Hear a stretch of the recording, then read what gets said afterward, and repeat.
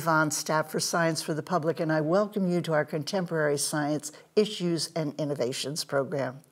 How migratory creatures, especially birds, navigate over vast distances has been a research issue for decades, but there are still many unknowns. Our guest today has been an international leader in that research, and he's about to explain what scientists know about the uh, sensory maps of birds and other migratory creatures. Charles Walcott is professor emeritus at Cornell University. He served there as director of the ornithology lab, then director of the Division of Biological Science, and other positions for that university. Dr. Walcott has worked with PBS Nova and has been featured in several Nova productions. Dr. Walcott, a big welcome and thank you very much for joining us today. Well, it's a great pleasure to join you today. and the th- topic I'm going to talk about is that of bird migration. And here in Ithaca, New York, our hummingbirds have left uh, for the south, and we see birds flying over on their on their journey uh, down south. And uh, what I think perhaps one doesn't realize just what an extraordinary journey it is. This bird that I'm showing you here is an Arctic tern. It nests up along the coasts of New England up into Canada, and then in the fall, it flies uh, down uh, an extraordinary journey uh, down along the coast of Africa sometimes or down the middle of the ocean and spends the winter flying around in Antarctica. I used to say that the birds flew on the order of uh, 12,000 miles a year. It turns out I was totally wrong. Uh, they fly on the average 48,000 miles uh, in the course of a year. And this is really quite an extraordinary journey. Another example is this, which is a bar tailed godwit. And the bar tailed godwit nests in Alaska and then uh, migrates nonstop from Alaska down to New Zealand, an extraordinary trip of something like 11,700 kilometers uh, over the open ocean uh, uh, to reach New Zealand. And then coming back in the spring is even more interesting. It doesn't do it in one uh, journey, it flies uh, first about 10,000 kilometers to China, spends some time in China refueling in the marshes and so on, eating, and then it flies another 6,500 kilometers uh, over to Alaska. And to me, that is an extraordinary uh, kind of journey. But that's not even the most extraordinary. This is a field in North Haven, Maine. Actually, it's the field that Charles Lindbergh used to land his airplane in uh, when he went to see his uh, wife's family. And if you look at this field, it's full of milkweed. And the milkweed, if you look at that, has these caterpillars. And these are the caterpillars of a monarch butterfly. And the monarch butterfly is also a migratory species. Uh, these caterpillars turn into a pupa and then uh, into this lovely adult uh, butterfly here feeding on the milkweed. In the fall, these butterflies take off and they fly uh, down to Mexico, where they spend the winter in a huge flock uh, nestled on uh, particular kinds of trees in a particular area. And here's a great cluster of them, uh, is how they overwinter. And then in the spring, they fly back up north. And the butterflies we have in Maine are probably four generations removed uh, from those in Mexico. They started down there in Mexico. They moved up into Texas. They stop, had a brood. The uh, corresponding adults fly further north, and so on, until finally uh, they make it all the way up uh, to Maine where they have probably one, maybe two broods uh, before they head back down uh, to spend the winter in Mexico. Uh, but it isn't just birds and butterflies, uh, it's salmon that spend their years out in the Pacific Ocean and then return to the exact same gravel bed where they themselves were hatched. Or it's the sea turtle who was captured from somewhere uh, over towards Japan, uh, taken over to Mexico and released. And here is the track of three of those turtles uh, making their way back uh, towards uh, Japan. And uh, you see that some of them actually made it all the way across the Pacific Ocean. And there are migra- migrating uh, caribou. Lots of uh, mammals migrate, particularly in Africa, but caribou in, in this country. So, the main example I want to talk about today is that of the migrating birds. And they move in enormous flocks, uh, in, usually at night, uh, from their breeding grounds uh, down to spend the winter somewhere where it's warmer and where there will be lots of food uh, available to them. The question, of course, is how do these birds find their way? And the f- first question uh, was resolved by a fellow named Gustav Kramer many years ago, who put starlings in kind of a circular cage like this. And on the left hand side, you can see the spots the birds learned where to find food in this circular cage, uh, and it was relative to the sun. And then what he did was to put little mirrors, if you look on the right hand diagram, all those flaps have little mirrors so that the image of the sun is deflected by about 90 degrees. And the result of that is that this bird, which in this case was a starling, was also deflected by 90 degrees. It turns out that the sun is a very important compass for lots of animals. Honeybees use it, birds use it, uh, insects of various sort use it, and it's by far the most common uh, compass. But I just told you that birds migrate at night. If they migrate at night, they can't see the sun. So, what on earth are they using? It turns out that what they're doing is using the stars. And this was shown by one of Kramer's students, a fellow uh, by uh, uh, the name of Hans Sauer, who found that his migratory birds that he was working on are active during the night. They're hopping about in their cage. He found that if he laid underneath the cage, he could see the birds silhouetted against the sky. And he noticed that they spent most of their time in the appropriate migratory direction that is, south in the fall and north in the spring. Uh, but the problem is he can only do two at a time. That is Mr. Sauer and Mrs. Sauer. And that was uh, meant it was very hard to get a great deal of data. It was therefore uh, a fellow by the name of John Emlen and his son Steve Emlen. Uh, John was, uh, I think, at the University of, uh, oh my gosh, Wisconsin. And Steve was here at Cornell developed what is now called the Emlen funnel. And it really is very simple. It's a two quart Pake tin uh, with a funnel made of blotting paper and a screen on top so that the birds can't escape. And then the tricky part there's an ink pad down at the bottom. And so the bird stands on that pad and with little inky feet.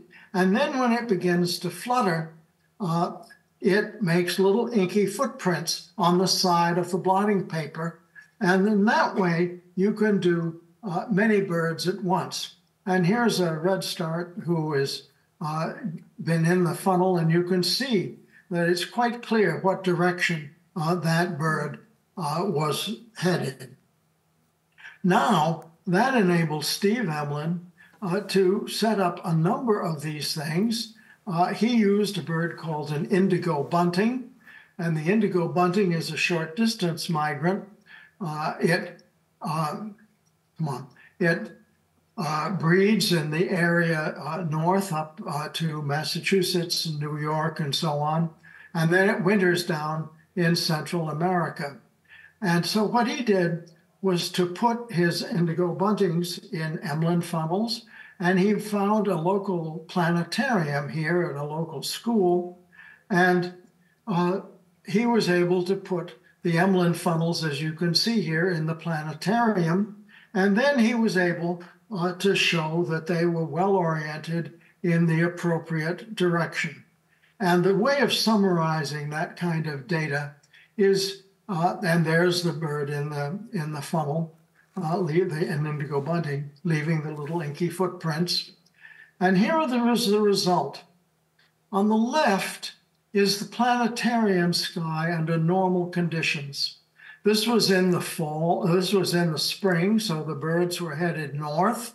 And you can see that the arrow indicates the average direction the birds were choosing, which was directionally north. And there were, of course, always a few that didn't get the message and headed in the wrong direction. But the majority were well headed uh, north.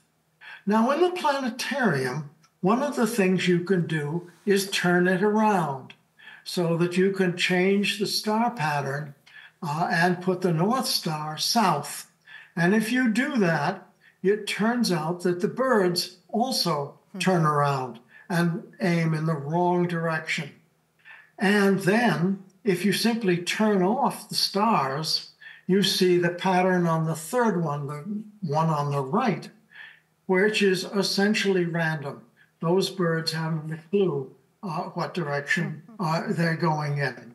And so Emlen concluded that what was going on here uh, was that the birds uh, were using the stars, the star patterns in the, on the uh, in their migration, and uh, that was a very exciting finding. However, there are days here in Ithaca when the sun does not shine and the uh, evening sky is covered with clouds.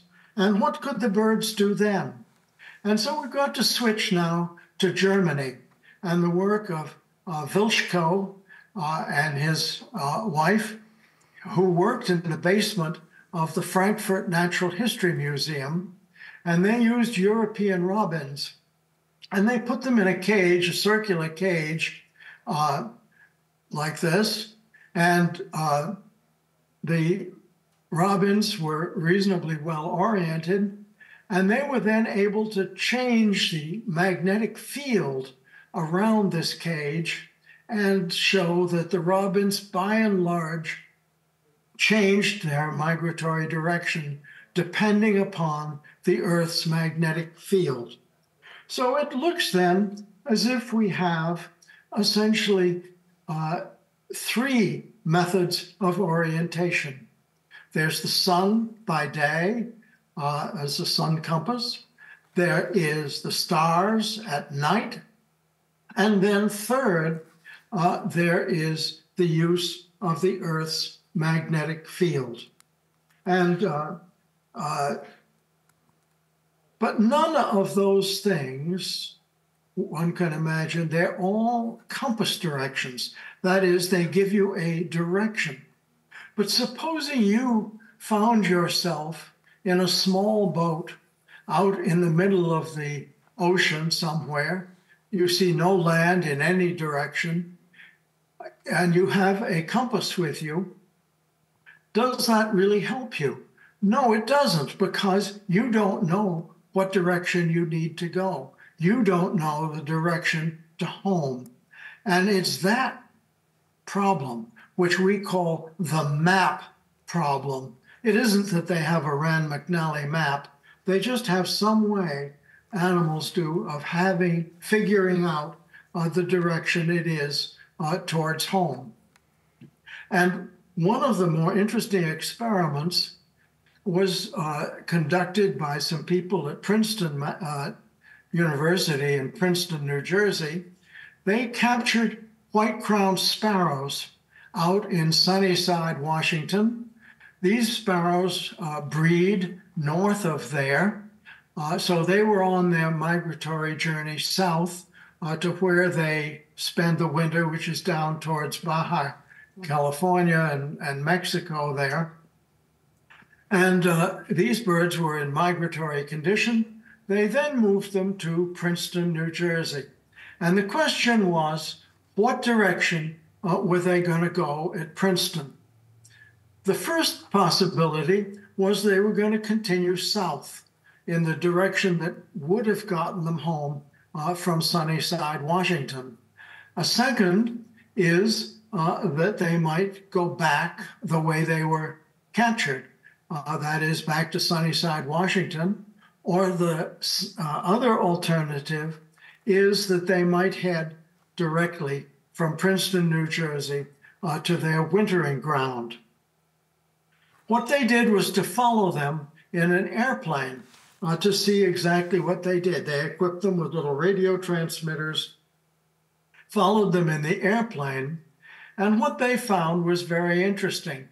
At the top, you'll see uh, the path that these birds took, and it mostly was towards uh, the wintering ground.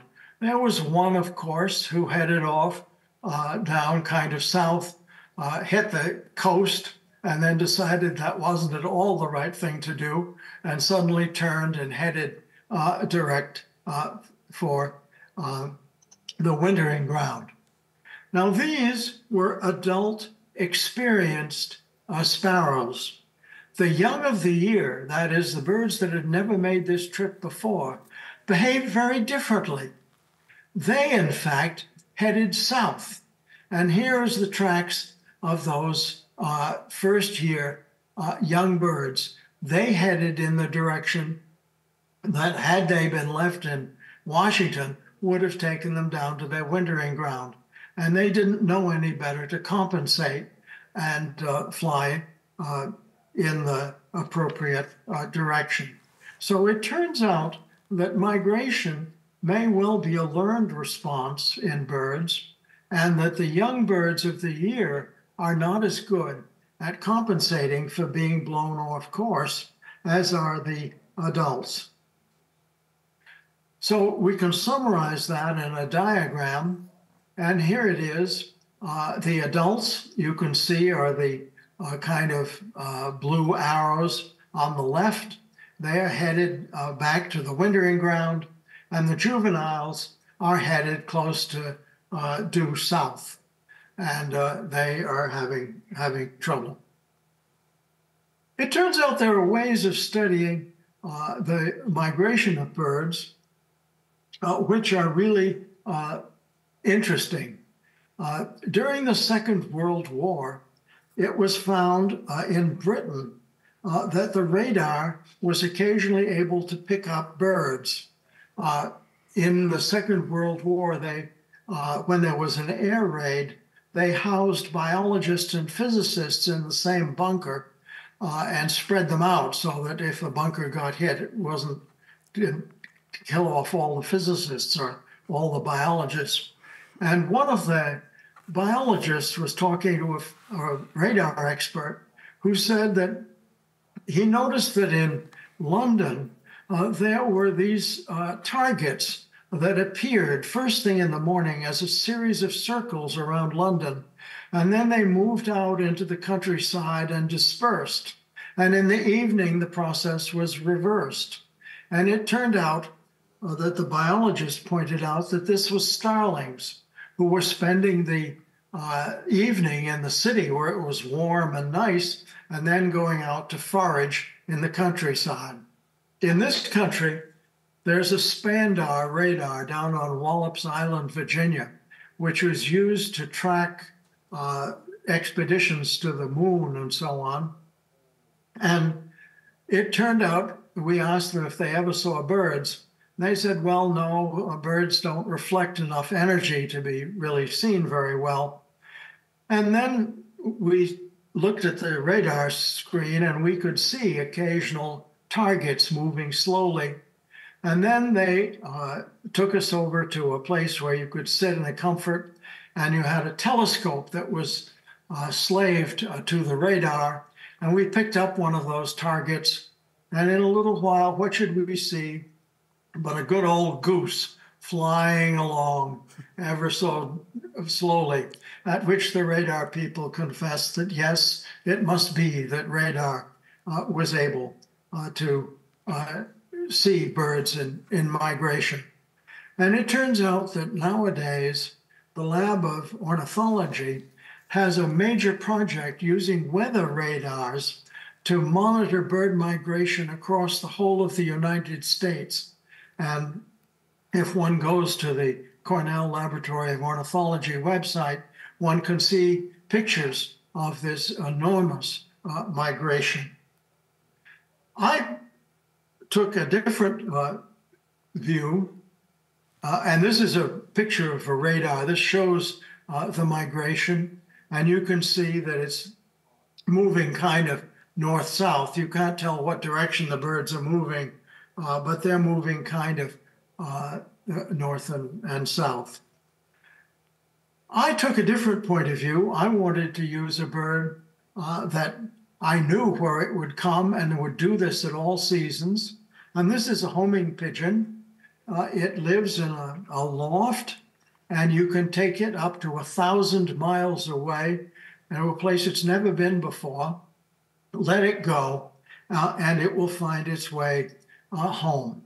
Uh, you first do some training, and here I am releasing a bunch of pigeons on a training release, and uh, uh, that uh, they then uh, will come home. And what we learned about the pigeons is that they use the sun as a compass because they mostly fly during the day. They're able to compensate for the movement of the sun through the sky. So they have an internal clock. Hmm. Uh, they are able uh, to uh, use, when the sky is overcast, they are able to use a magnetic compass, just like the migratory birds. But what they use to figure out where home is is still almost completely mysterious. The Italians believe that they are using odors, uh, that the pigeon that the pigeons learn that the wind from the north brings the smell of the garlic fields, the wind from the south, perhaps the olive groves, and so on. And so when they're released somewhere, they sniff and say, aha, that is the wind from the north, therefore I have to fly south in order to go home. Others of us believe that perhaps it's the Earth's magnetic field that the pigeons are using because it varies over the surface of the Earth. And if they were clever enough, perhaps they could make use of that variation in order to find home. And there's some evidence for that. Another group feels that it's low frequency sound. Pigeons are able to hear sounds below the range of human hearing, which is about 20 cycles per second. Pigeons are able to hear down to one tenth of one cycle per second. And the world is very noisy down at those low frequencies. And uh, uh, perhaps uh, that is what they are using. Uh, but we still really don't know. And so, as we watch the pigeons come home, uh, which should be here but isn't, we see that what they are doing is totally mysterious. And we don't know how they do it, but the pigeons seem to.